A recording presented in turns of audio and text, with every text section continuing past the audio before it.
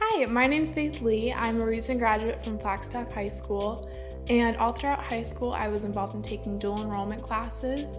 My senior year, I was involved in the CAVIAT CNA program, so I was just able to receive my licensed nursing assistant before I graduated high school. I chose CCC because it's in my hometown. I don't have to go travel. I can still live at home where it's cheaper.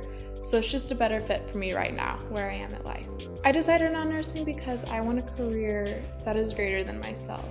I don't want to be sitting at a desk job for the next 40 years, feeling like I'm not having an impact on the world greater than what I could be doing. I feel like nursing, you're out there helping people, you're loving on people, and that's something that has a special place in my heart and that I feel would be super fulfilling as a career.